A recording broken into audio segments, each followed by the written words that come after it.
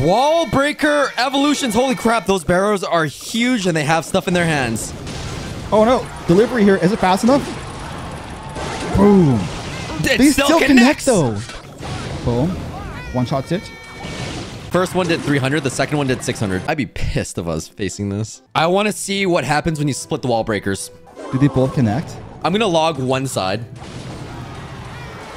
Boom. Even if I log it, it still connects. All right, let's say I don't have a building and I have I only have like Ice Spirit. Ice Spirit and Skeletons usually counter. it. Oh my god. Why is my print so low? When the wall breaker explodes, like the barrel, it deals damage to everything around it. So all of your defensive units will die as well. Everyone's going to be running Tombstone and Goblin Cage just to counter this. Ability, oh ability, my ability, ability. god. Oh my god. Look at that! Look at that damage! Yo, that tower goes down. That was 1200 damage.